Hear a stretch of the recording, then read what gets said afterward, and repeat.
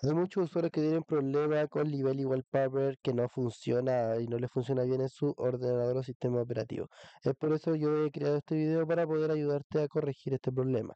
Algunos de los motivos por esto, por lo que ocurre esto son principalmente porque Wallpaper no es compatible con tu ordenador o tu sistema operativo. Muchas veces pues, tienes que reinstalar eh, Wallpaper por algunos archivos dañados que se encuentran a la hora de instalar en la aplicación o bien tiene una mala configuración de Lively Wallpaper.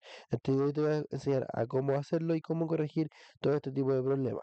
Primero que nada, para comprobar si Lively Wallpaper se encuentra disponible o es compatible, vas a dirigirte directamente al sitio oficial para descargar en Microsoft, en la aplicación de Microsoft o Microsoft Store.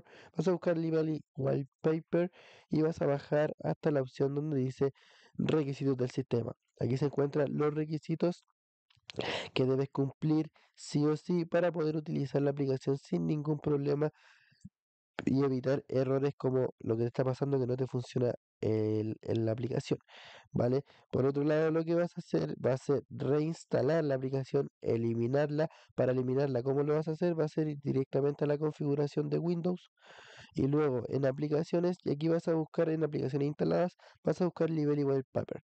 Por ejemplo, supongamos que está en la aplicación, le vas a dar en desinstalar y luego van a venir nuevamente a la tienda de Microsoft y vas a volver a instalarla para reparar los errores.